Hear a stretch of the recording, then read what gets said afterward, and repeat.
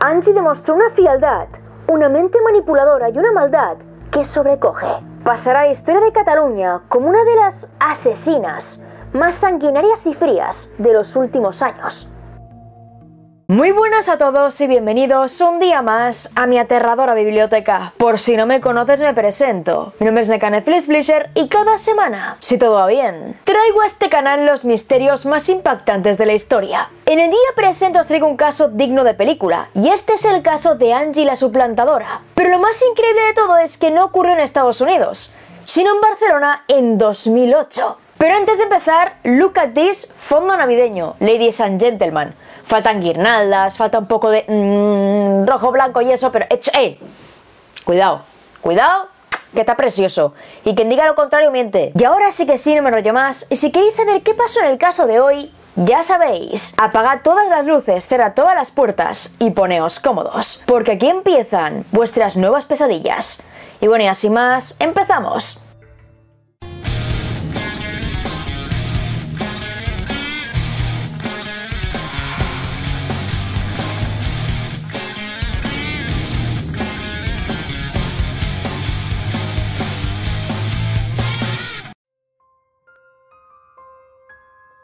Esta historia comienza el jueves 21 de febrero de 2008, en Barcelona. Parecía un día de lo más normal para los empleados de un hotel situado en la calle Camprodón, en el barrio de Gracia. Pero lo que no sabían es que en pocas horas el caos se desataría. Este hotel no era de simples habitaciones con su número y demás. Eran pequeños apartamentos que se alquilaban por horas y cuando alguien se iba inmediatamente entraba el equipo de limpieza y lo dejaba todo listo. Tenía que ser todo muy rápido, muy eficaz, y el equipo de limpieza estaba acostumbrado. Es así como una empleada fue llamada para ir a uno de los apartamentos, concretamente un dúplex que debía estar libre. En pocas horas sería ocupado de nuevo, y ella debe dejarlo impecable. Agarra el equipo, las llaves, basta el dúplex, abre la puerta y se encuentra con una escena de lo más surrealista. En el sofá se encontró el cuerpo desnudo de una mujer que tenía una bolsa de plástico atada a la cabeza con cinta aislante. No tenía heridas, rasguños, moratones, y al principio pensó que era una broma. Pensó que sería un muñeco, una chica borracha que estaba durmiendo, pero en pocos segundos se dio cuenta de que era real y de que esa mujer estaba muerta. Casi al instante llama a los Mossos de Escuadra y una patrulla, tras precintar la zona, revisa la escena del crimen. No había una sola evidencia clara que indicase qué diablos había pasado. No había lucha, no había nada fuera de lugar. Estaba todo impecable. Y solo había dos cosas raras que al mismo tiempo parecían irrelevantes. Detrás del sofá había una peluca corta de color negro y en una esquina unas botas altas de mujer. Ambos elementos parecen una tontería, pero aún así son mandados a analizar punto que más adelante será muy importante. Se revisa todo el apartamento, se mira cada esquina, cada mueble y ven que la cocina horas antes ha sido limpiada a conciencia. Pero aparte de eso, no hay nada más. La primera hipótesis es la siguiente. Esta mujer era y un cliente la citó allí para hacer una fiesta sexual. Se pone su ropa, una peluca, unas botas, va al duplex y fallece. Algo ocurrió que le quitó la vida a la mujer y los implicados desaparecieron. No obstante, era todo muy misterioso, porque la ropa de la mujer no está en ninguna parte y aparentemente no hay signos de violencia. No tiene rasguños, moratones, el cuerpo está impecable.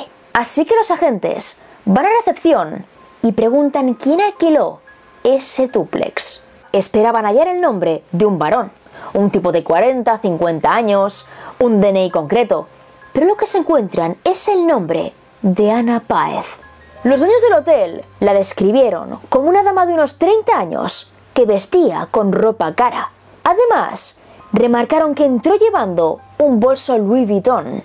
Estaba claro que tenía mucho dinero, y al buscar su nombre en bases de datos, la policía recibió una coincidencia. Justo el día antes, la familia de esa mujer denunció su desaparición.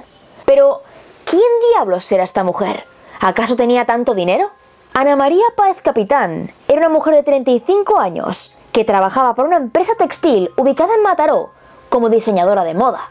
Su vida era francamente buena. Desde hacía algún tiempo vivía con su pareja, Carlos, y no tenían problemas. La comunicación entre ambos era muy buena, y según los testigos, tenían planes de boda. Querían tener un futuro juntos, y parecían hechos el uno para el otro. Sabemos también que Ana era una persona sociable y que no tenía problemas con nadie. No tenía enemigos, no tenía deudas, y era feliz con su vida. Partiendo de esa base, debemos remontarnos a la cronología de eventos que ocurrieron el 19 de febrero. Como cada día, Ana se levantó temprano y tomó un tren desde Barcelona en dirección a Mataró, la ciudad en la que trabajaba. Por la mañana habló con su hermano por teléfono y le comentó que quizás esa noche quedaría con una amiga para ir a cenar. No estaba segura de ello, la amiga no se lo había confirmado, pero más o menos creía que sí se verían. Las horas pasaron y parece que esa cena se acabó confirmando.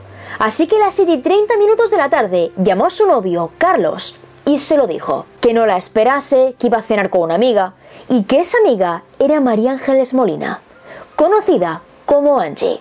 Le prometió a Carlos que no llegaría tarde, y este se tranquilizó.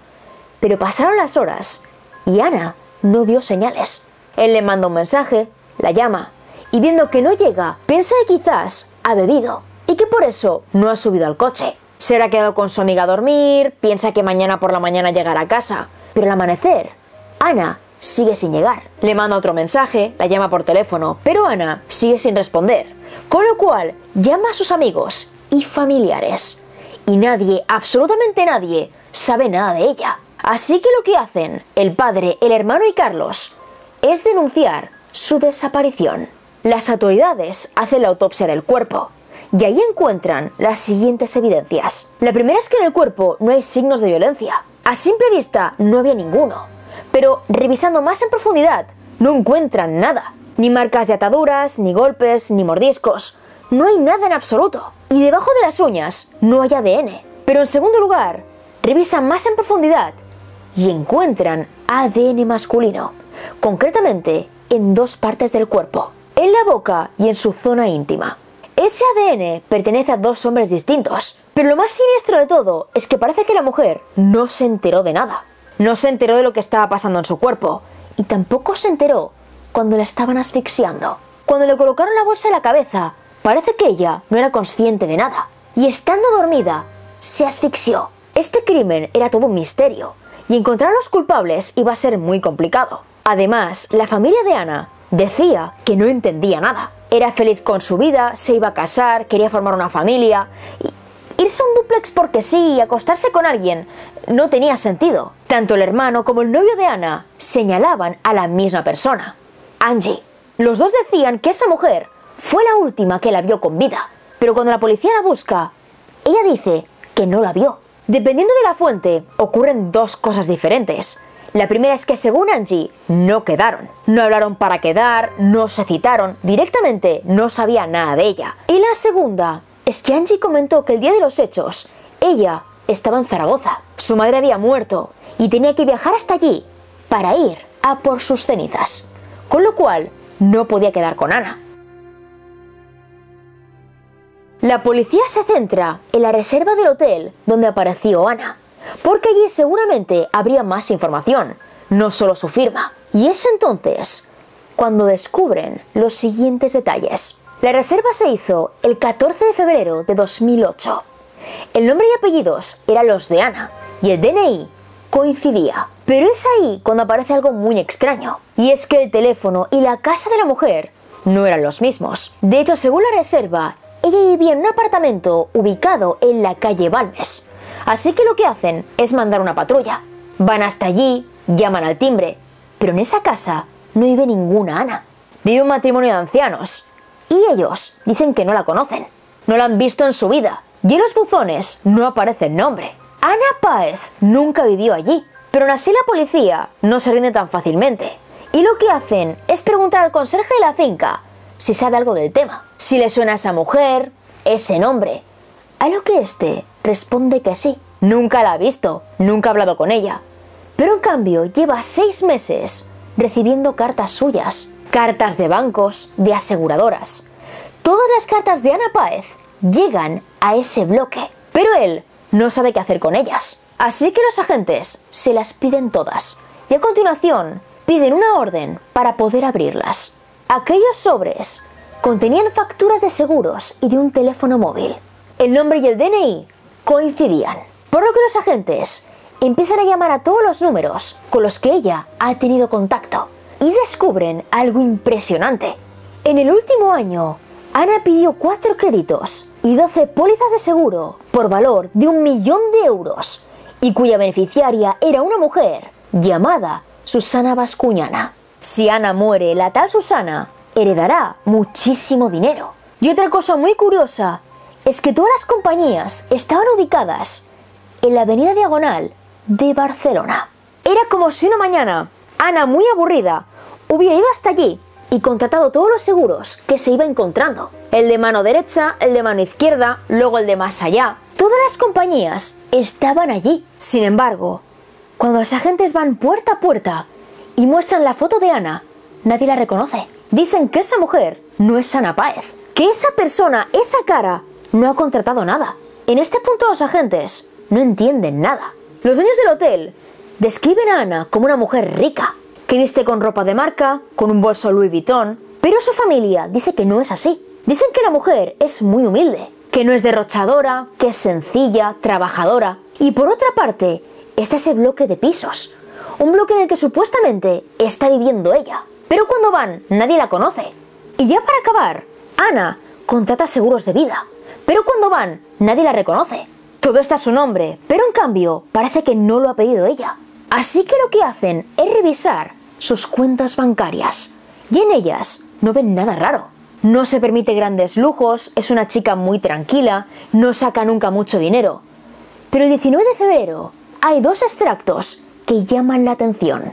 Por la mañana, en un cajero de Mataró, Ana saca 600 euros. Y por la noche, ya en Barcelona, saca 120 euros. Esta mujer no suele sacar tanto dinero, así que la policía pide las grabaciones de las cámaras de vigilancia. Y esta es la mujer que aparece en ellas. A simple vista puede parecer Ana, pero los agentes no las tienen todas consigo, con lo cual agarran las imágenes y se las muestran a su novio, Carlos. Al momento este hombre dice que esa mujer no es su pareja y que es ni más ni menos que María Ángeles Molina, Angie, la mujer con la que supuestamente iba a quedar. Con las palabras de Carlos muy presentes, la policía agarra las imágenes y se las muestra a todas las compañías en las que Ana Páez ha pedido seguros. Y en todas ellas dicen que esa mujer sí es Ana. A la auténtica Ana no la conocen de nada, pero esta es clienta suya. Esta es la mujer que lo ha contratado todo. Y por ello los agentes intentan descubrir quién narices es. Angie en 2001 trabajó como jefa de recursos humanos en la empresa Promotex de Barcelona, en la cual también trabajaba Ana. Allí se conocen, se llevan bien e inevitablemente se hacen amigas. Angie siempre se caracterizó por ser algo extravagante. Tenía un piso alquilado en la zona alta de Barcelona y allí vivía con su hija. Además, siempre se relacionaba con gente de mucho dinero. Y su pareja de aquel entonces era un empresario de renombre. También sabemos que tiempo atrás Angie estuvo casada, pero esa relación no fue muy bien. Y es aquí como tenemos que rescatar las palabras de la hermana de su exmarido. Angie decía venir de una familia muy adinerada, con títulos nobiliarios y tierras con frutales, por algún sitio de España. Mi hermano no tardó mucho en comprobar que todo aquello no eran más que mentiras. La relación avanzaba y Juan Antonio quiso conocer a los padres de Angie. Eran dos personas humildes. Creo que el papá era taxista y la mamá una señora de su casa. Mi hermano se enfadó y tuvieron la que debió ser su primera crisis. Y quedaos con estas palabras porque más adelante volverán a salir. Según los testigos, condució un Hammer cuando nadie haya visto nunca semejante cochazo en España. Tenía varios vehículos de alta gama, pero su favorito era el Porsche. Le encantaba aparentar y casi todos los días usaba una peluca corta de color negro, ya que decía que de este modo el pelo siempre estaba perfecto. Siempre estaba maquillada, usaba ropa cara y bolsos de la marca Louis Vuitton. Angie era la Ana Páez a la que todos describían, pero la policía no podía demostrar que fuera la misma persona. Todo era circunstancial. y necesitaban saber quién diablos era Susana Bascuñana. Buscan su nombre, su DNI, dónde trabaja y rápidamente van hasta allí. Pero la mujer no tiene ni idea de nada.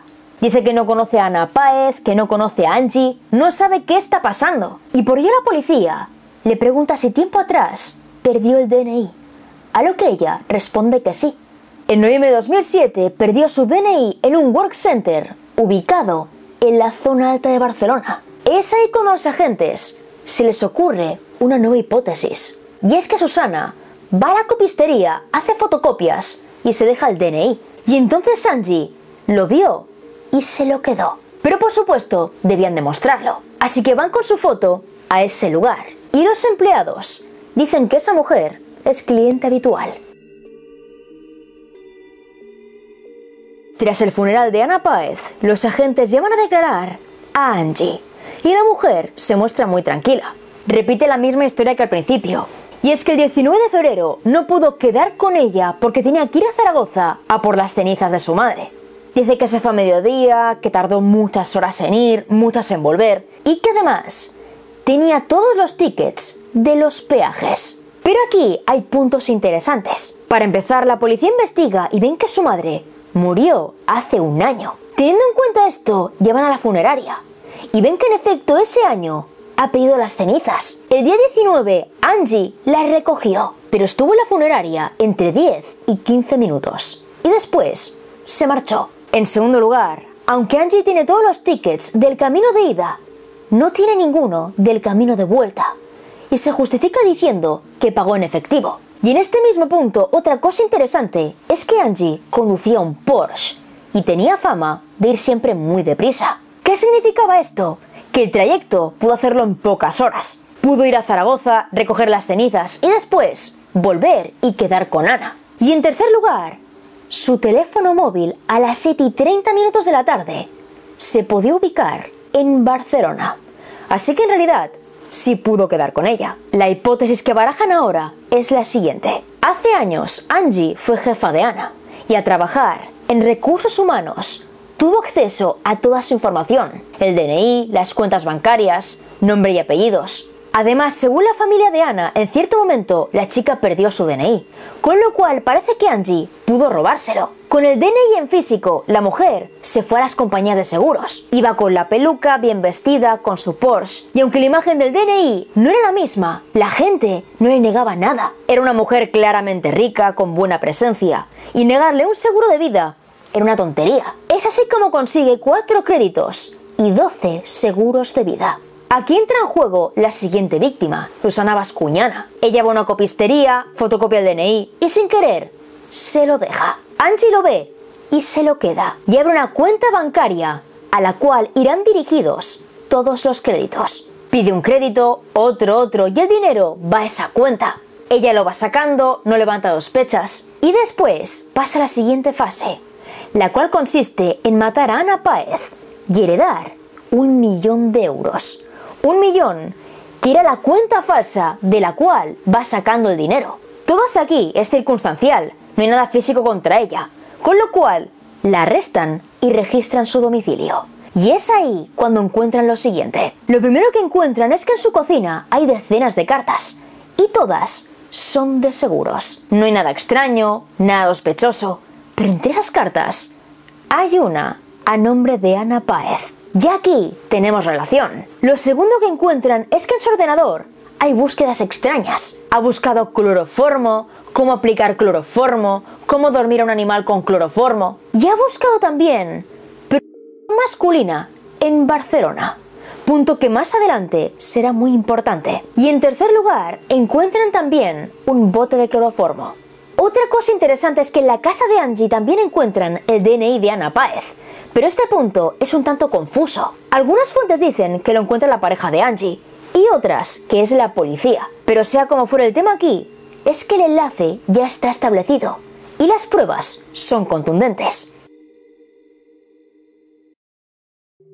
En este momento hay que volver atrás en el tiempo, concretamente hasta la escena del crimen. La empleada de la limpieza se encontró el cuerpo sin vida completamente desnudo de Ana Páez. Tiene la bolsa a la cabeza, la cinta aislante, y en la escena había dos objetos que llamaban la atención. Unas botas altas y una peluca corta de color negro. Ambos objetos son analizados y tiempo después se encuentra que en esa peluca hay cabellos de Angie. Esa peluca es la que ella siempre usaba. Pero lo peor aún estaba por llegar. Y es que en su ordenador, la policía encontró búsquedas realmente extrañas, entre las cuales está prostitución masculina en Barcelona. Angie estuvo buscando diferentes locales y los agentes van a todos y cada uno de ellos mostrando su foto.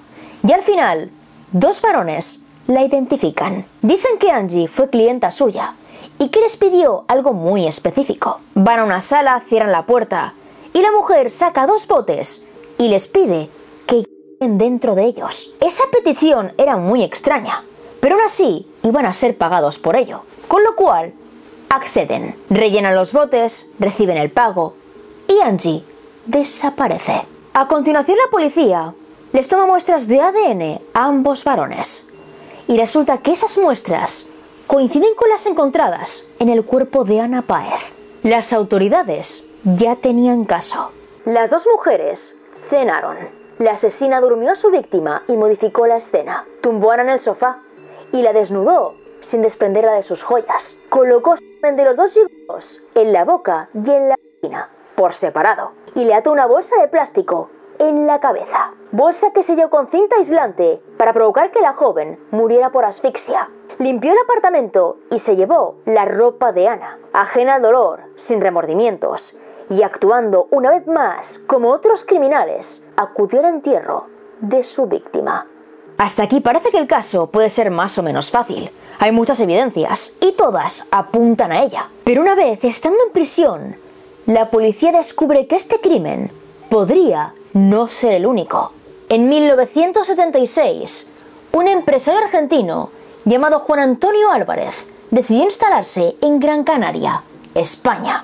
Poco a poco empezó a hacer negocios y se convirtió en un conocido empresario turístico y dueño de varias discotecas. Hizo una gran fortuna y en el 88 conoció a la que él creyó el gran amor de su vida, Angie. Su relación fue viento en popa y aunque de vez en cuando quería pillarle algunas mentiras, decidieron casarse en 1990 y al año siguiente tuvieron a su primera y única hija. Juan era un tipo normal y corriente, y aunque tenía mucho dinero, todos decían que era muy humilde y cercano. Tenía rutinas muy marcadas, se levantaba temprano, se tomaba unas vitaminas y a continuación se iba a trabajar. Todo era muy normal en su vida, muy rutinario. Pero con el paso del tiempo llega una crisis. Angie gastaba muchísimo dinero y no podía parar. Compraba ropa, bolsos, quería coches, se iba siempre de fiesta, viajaba mucho a Barcelona. Y Juan empezó a sospechar. Así que lo que hizo fue contratar a un detective privado. Juan me comentó que ella era una compradora compulsiva y se gastaba dinero en el casino. Discutían cada día. Poco antes de morir, él contrató a un detective para que investigara a Angie y descubrió que tenía encuentros con otros hombres y que además se me dijo que tenía pensado ir a ver a un abogado y que iba a arruinarla por haberle sido infiel. Juan ya estaba harto y tenía pensado pedir toda la custodia. Quería conservar su casa, sus negocios, sus cosas, su hija. Pero por supuesto Angie no se iba a rendir. Y en 1996 la historia dio un giro completo. En el mes de noviembre, Angie y su hija se van a Barcelona y Juan se queda en Gran Canaria. Supuestamente la mujer se va por unos días, pero esos días poco a poco se van alargando. Según la asistenta, la mujer no paró de llamar preguntando por su marido, por cómo se encontraba, por si tenía buen aspecto, por si tenía fiebre. Y entonces llegamos al 22 de noviembre, cuando Angie entra por la puerta y se lo encuentra tirado en el suelo y sin vida. Según la policía, lo que pasó fue lo siguiente. Él regresó de un partido de pádel se bañó y luego murió en la cama. Pero la autopsia reveló que en su organismo había ion fosfato, un tóxico presente en los fertilizantes. Así que el resultado era el siguiente. Juan se había quitado la vida. Para la familia de Juan, aquello no tenía sentido. Él era feliz, lo tenía todo, y simplemente quería divorciarse. Así que en sus mentes, alguien lo había matado. Y ese alguien tenía que ser Angie. Sin embargo, Angie decía que era inocente. Decía que ella lo quería mucho, que jamás le haría daño. Y mientras tanto, se pasó un año entero peleándose con el seguro de vida para quedarse con todo. Con su dinero, con sus negocios, con la casa, con los coches. Y lo más siniestro de todo es lo siguiente. A su amiga Lidia le dice que su marido murió de efisema pulmonar agudo debido posiblemente a un sobreesfuerzo por un partido de pádel. Y a su amiga Patricia le dice, me lo he cargado. Y tras volver a preguntarle, cambia su tono de voz y dice, me lo he cargado, ya sabes, mis gastos, mis disgustos. La justicia volvió a abrir la causa en 2016, pero el caso se terminó archivando en 2018. No obstante, aún podían buscar justicia para Ana Páez, y las autoridades hicieron todo lo posible por otorgarle la pena máxima. El 19 de marzo de 2012, María Ángeles Molina Fernández fue condenada a 22 años de prisión por falsedad documental y asesinato. Pero lamentablemente recurrió su condena y en junio de 2013 esta fue rebajada a 18 años. Angie demostró una frialdad, una mente manipuladora y una maldad que sobrecoge. Pasará a la historia de Cataluña como una de las asesinas más sanguinarias y frías de los últimos años. Así que ahora es tu turno. ¿Tú qué opinas del caso? ¿Y crees que la sentencia final es justa? Y bueno chicos, hasta aquí el vídeo de hoy. Espero que os haya parecido tan interesante como a mí y que sea así me dejéis un buen like y un comentario aquí abajito. Un comentario junto a por supuesto la respuesta a la pregunta del día, la cual es la siguiente. ¿Creéis que si la policía no hubiera investigado bien, podría haber habido más víctimas? Y la palabra secreta es, es, estafa. Deja estafa aquí abajito y en cuanto lo vean cuanto pueda te daré like. Y ahora sí que sí, voy despidiéndome. Aquí abajo tenéis todas las fuentes consultadas, que no son pocas, enlace directo donde conseguir mis libros y todas, pero todas mis redes tengo Facebook, Twitter, Instagram y Twitch, que también tengo Twitch y puede que esté en directo ahora mismo, y planifico los cambios, las novedades y multidechadas más. Y ahora sí que sí, nos vemos en el próximo vídeo. ¡Chao!